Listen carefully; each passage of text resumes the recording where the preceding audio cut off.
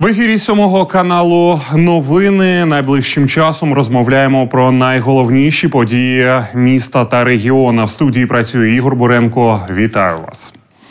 У СБУ відкрили провадження проти прикордонників. Йдеться про події кінця листопада, коли до узбережжя прибило баржу із контрабандними цигарками. Слідчі вважають, що якби не шторм, контрабандистам вдалося переправити вантаж в одну з європейських країн внаслідок порушення правил несення прикордонної служби. За це винним загрожує позбавлення волі на термін від 5 до 10 років. Згідно з матеріалами кримінального провадження на баржі знаходилися 10 тисяч коробів цигарок. А от власників контрабанди правоохоронці чомусь досі не встановили.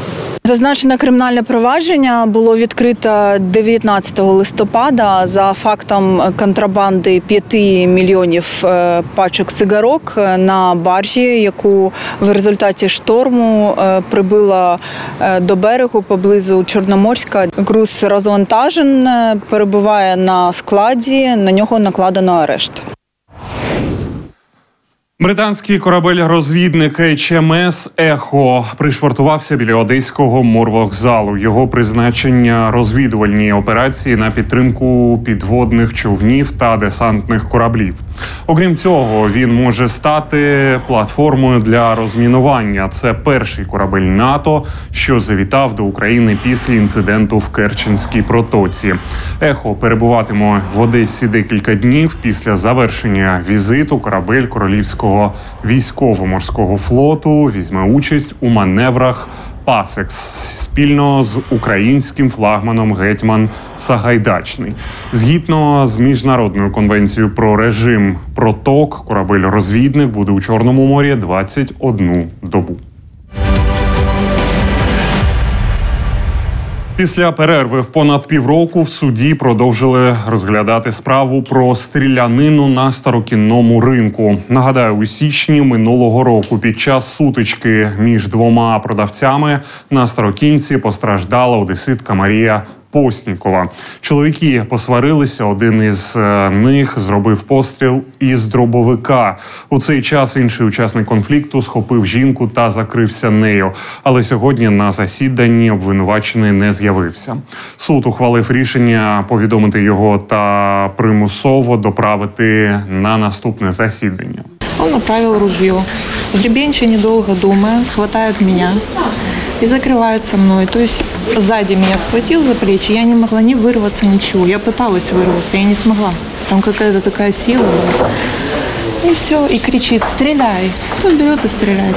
Я спасла девочку маленькую в коляске, когда я э, мной закрылись. Я когда упала, я увидела ребенок сзади меня весь в крови, но это в моей крови она была. То есть мной она закрылась. Если бы не моя нога, ее бы убила прямо в голову, потому что она в колясочке ехала.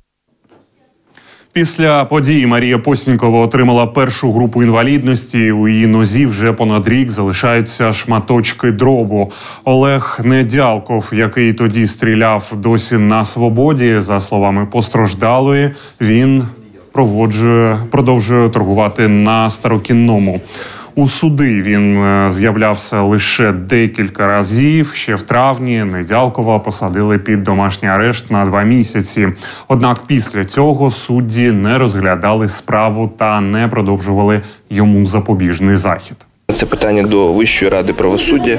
В країні триває судова реформа, судді звільняються, виходять в відставку. Тому, в зв'язку з тим, що колегія не змогла зібратися з травня місяця, ми не проводили судове засідання. Правоохоронці затримали чотирьох чоловіків, яких підозрюють у замовних підпалах будинків, автомобілів та іншого майна по всій Україні. Останній випадок, коли вогонь знищив автомобіль, зафіксували декілька місяців тому у Лиманському районі Одеської області. У затриманих провели 13 обшуків, вилучені мобільні телефони, банківські картки, оргтехніку, балаклави, кастети та канабіс. Підозрюваних доставили до ізолятора тимчасово тимчасового тримання. Безпека територіальної громади, спільна справа правоохоронців, місцевої влади та пересічних громадян. Такої думки дотримуються одеські активісти. кажуть, інноваційний експеримент вже проводять у Татарбунарському районі. Ми говоримо про те, що безпека в громаді торкається не лише правопорядку, а торкається і екологічної безпеки, безпеки руху, безпеки інфраструктури і інших моментів. І друге, це безпека в громаді це спільна участь і відповідальність. Експеримент триває понад рік. Це впроваджується через е, діяльність координаційного офісу безпеки. На Турбнарах ми створили в 2017 році на початку куртофіс безпеки. Поки він є неформальною площадком, таким хабом для розвитку безпеки. Поступово ми переводимо його під егіду міської е, ради, щоб вона і фінансувала, і здійснила здійснювала відповідальність за безпеку в громаді. Якщо експеримент виявиться вдалим, інноваційний метод безпеки територіальних громад буде запропоновано іншим населеним пунктам області. У Рені чоловік намагався вкрасти труби водогону, чим ледь не залишив усе місто без водопостачання. Для цього вночі копав траншею. Коли його затримали, правоохоронці окоп вже був 40 метрів завдовжки. За словами чоловіка, він хотів зрізати кілька метрів човуну, щоб здати на брухт. У поліції відкрили кримінальне провадження. Крадіотруб загрожує до трьох років позбавлення волі. Зміни у Чорноморській міській раді двох депутатів замінили через те, що нібито вони неналежним чином виконували свої обов'язки.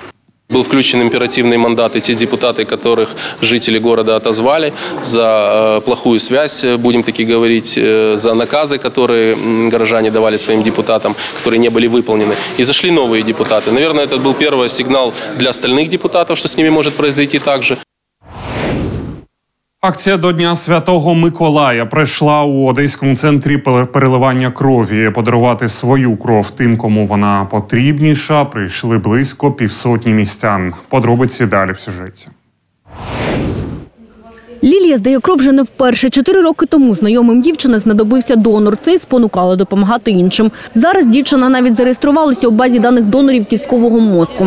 Я когда предлагаю людям сдавать кровь, приходить, например, на акции, либо же просто приходить кровь сдавать, э, некоторые боятся крови, некоторые боятся иглы. Но те чувства, которые у тебя возникают после того, как ты сделал хорошее дело, да, и кровь, возможно, кому-то поможет, спасет нескольких человек, э, оно взаимозаменяет все остальное, какую-то боль, неприятные ощущения. Сьогодні на станції переливання людно крові одесити вирішили поділитися з нагоди Дня Святого Миколая. У звичайні дні охочих стати донором менше. Дефицит есть всегда, потому что, ну, к сожалению, да, в- ну, нет в нашей стране еще сознания того, что э, кровь должен сдавать тот человек, которому можно сдать кровь. М, Мы сталкиваемся с этим тогда, когда попадают в беду наши родственники или друзья, знакомые. Тогда э, одесситы очень отзывчивый народ, и если это попадает э, в соцсети, людей приходит много. Но чтобы называть донорство регулярным, такого назвать нель- нельзя. Аби українцям не доводилося шукати донора поспіхом через соцмережі, волонтери створили спеціальну платформу Донор.ua. сайт, в котором есть возможность регистрации и доноров, и реципиентов, то есть тем, кому нужна кровь. Это своего рода координирование донора и реципиента. То есть, например, если в городе есть э, человек, который попал в беду, которому нужна кровь, он регистрируется, и в нашей базе уже есть 21 тысяча доноров по всей Украине, и э, в соответствии с городом и его группой крови к нему подбирается как бы соответствующий человек, Здавати кров можна кожні два місяці, починаючи з 18 років. Ніяких особливих обстежень для цього не потрібно. Головне почуватися здоровим. Яна Туренко, Євгеній Чменцев, сьомий канал. Цукерки, олівці та розмальовки з Днем Святого Миколая пацієнтів обласної дитячої лікарні привітали одеські патрульні. Подарунки отримали приблизно 60 пацієнтів нефрологічного, неврологічного та пульмонологічного відділень. Серед іншого дітям принесли навчальні розмальовки, завдяки яким хлопчики та дівчатка швидко опанують правило дорожнього руху. Пасти. Угу. Карандаши. Чупа-чупс и линейка. Второй год подряд мы посещаем детей в детской областной больнице и желаем им скорейшего, скорейшего выздоровления, радости и улыбок, чтобы дети получали позитив, энергию, которая помогала им скорее встать на ноги, выздороветь, вернуться домой к родителям. Зазначу, зранку копи допомагали одеситам у якості донорів крові, яка ймовірно піде на потреби дітей з онкологією. Утром к 9.15 сотрудников патрульной полиции прибыли для сдачи крови, а также еще в течение дня до двух часов обещали где-то еще плюс человек 20 быть э, донорами. Комп'ютери, ноутбуки, роутери, проектори та інше мультимедійне обладнання отримала школа номер 85 у рамках спільного проекту УВКБ ООН у справах біженців та організації 10 квітня. Його реалізують, аби допомогти дітям із родин біженців легше адаптуватися в українській школі. Ну, мы единственное агентство, которое работает для, для, для беженцев. Э, У нас есть партнеры, но агентство ООН, которое, у которого есть вот этот очень специфический мандат, э, это помогать э, беженцы, э, их защищать и найти решение на их проблемы. Решение – это интеграция и адаптация. И мы считаем, что особенно для детей здесь их помогать в школе через таких проекты, их поддерживать, это, это, это все, что надо делать. Цей проєкт об'єднує е, дві категорії дітей.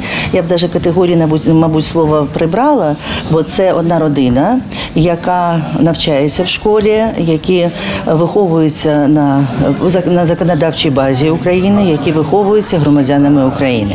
Цей проєкт, в якому ми взяли участь, дозволить нам створити сучасний інформаційно-комунікаційний простір для е, учнів школи, забезпечить можливість е, створення соціальних роликів, забезпечить можливість створення відеоуроків, відеопрезентацій, як дітьми, так і дорослими педагогами школи. Відомі на всю Україну вівці з Чорноморська готуються до великого переселення. Поблизу Одеси для них побудували повноцінний ангар. А тим часом в тварин вже почали з'являтися малюки.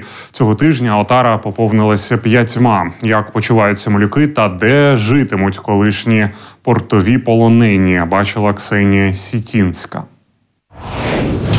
Тут уже все по науке. Волонтери показують новий притулок для овець. кажуть, врахували все, тож тут тваринам має бути доволі комфортно. У цій кошарі вони будуть їсти та спати. А зовні є навіс, під яким вівці зможуть пастися у погану погоду. С учетом того, что как бы мы планируем часть раздать, то часть здесь уже будет там комфортно размещена порядка 50 э, мамок. Э, У нас же ж ягнята есть, то есть как бы мы еще постепенно не можем понять, какое количество в итоге их будет. Поки що вівці живуть у тимчасових ангарах поруч. Отару розділили. Частину помістили у своєрідний лазарет. Ці тварини ще слабкі, тож за їхнім здоров'ям пильно стежать. Інша частина живе із малечею. Две овечки, у них родилось пять ягнят сразу. Вот трое черненьких, один беленький, один рыженький такой. И, конечно, это огромное счастье. Ну вот на подходе, э, как говорит наш овчар, еще несколько, буквально вот в течение недели мы ждем еще новых ягнят. Від одного ягняти відмовилася мама, тож його вигодовує власноруч один з волонтерів. Ну, бывает, если другая овца успела облизнуть другого, то другая, то мамка уже не примет его, потому что другой запах. Маленьке ягня живе у квартирі в Одесі. Ще кілька тижнів і його можна буде оселити поруч з іншими тваринами, кажуть волонтери. Щоправда, годують ягня козячим молоком. Вторую бутылку добиваем. Потихонечку привыкает. За порядком у загоні ретельно стежить декілька котиків. А вже цього тижня волонтери планують переселити овець до нового приміщення. Ксенія Сітінська, Костянтин Длужневський, сьомий канал.